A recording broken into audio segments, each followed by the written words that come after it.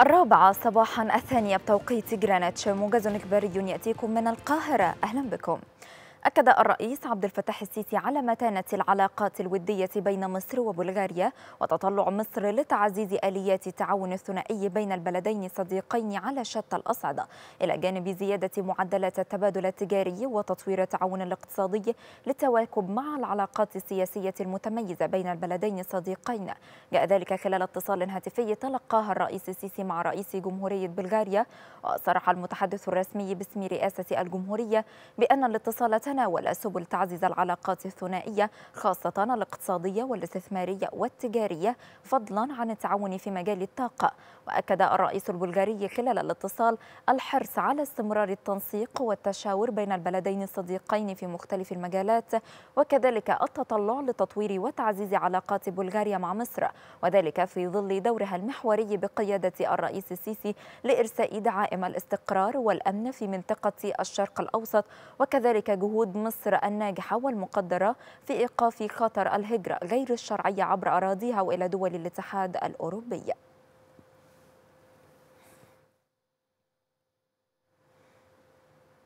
وجه الرئيس عبد الفتاح السيسي بأن يتم إنشاء أكبر مركز إقليمي لزراعة الأعضاء في مصر والشرق الأوسط وأفريقيا داخل المدينة الطبية الجديدة في معهد ناصر بهدف إنشاء منظومة متكاملة تشمل قاعدة بيانات مميكنة. جاء ذلك خلال اجتماع الرئيس برئيس الوزراء ووزير الصحة والسكان ورئيس الهيئة الهندسية للقوات المسلحة ومدير إدارة الأشغال العسكرية لمتابعة جهود تطوير منظومة الصحة في مصر. وقال المتحدث باسم رئاسة الجمهورية إن الرئيس السيسي اطلع على الموقف التنفيذي الخاص بتطوير معهد ناصر ليصبح مدينة طبية عالمية. كما وجه الرئيس السيسي بسرعة تطبيق حزمة الحوافز المادية للأطقم الطبية وبتشغيل عيادات مسائية بالمستشفيات وتخصيص نسبة من عوائدها للأطباء والهيئة الطبية المعاونة. كما وجه الرئيس بتوفير الموارد المالية الإضافية للتوسع في مبادرة قوائم الانتظار وإضافة تخصصات جراحية جديدة.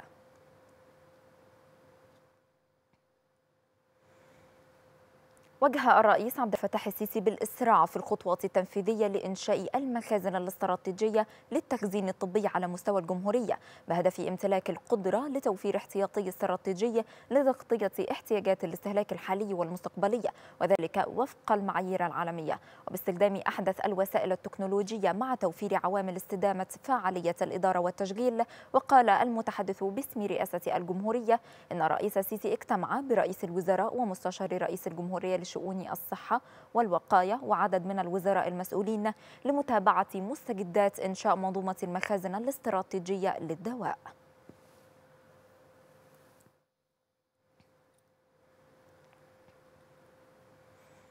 حدد مجلس النواب العراقي غدا الأربعاء موعدا لعقد جلسة للتصويت على استقالة رئيس المجلس محمد الحلبوسي. وقال المجلس إن جدول أعمال الجلسة تتضمن التصويت على انتخاب النائب الأول لرئيس البرلمان.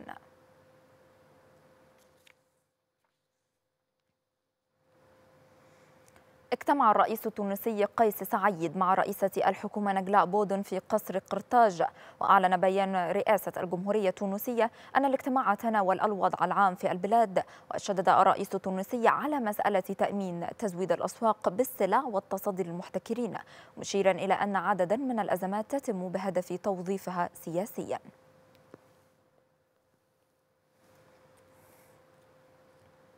قالت هيئة الأركان الأمريكية المشتركة أن رئيسها مارك ميلي بحث الأسبوع الماضي هاتفيا مع قائد القوات الأوكرانية. سير المعارك في أوكرانيا. وجاء في بيان لهيئة الأركان أن ميلي بحث مع زالوجني العملية العسكرية الروسية المستمرة في أوكرانيا وتبادل توقعات وتقييمات.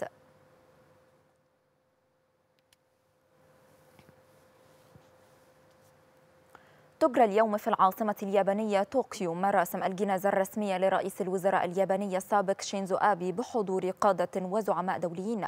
وبدأ آلاف المواطنين في التوافد لوضع الزهور في مقر الجناح المخصص لعامة الشعب.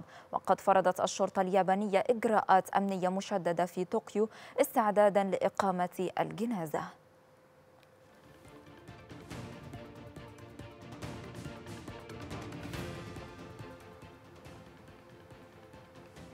ختام الموجز ولمزيد من الأخبار يمكنكم تحميل تطبيق Extra News من خلال Apple Store أو Google Play أو من خلال ال QR code الظاهر على الشاشة. شكرا على طيب المتابعة. كنت معكم حبيبة عمر. تحياتي لكم. إلى اللقاء.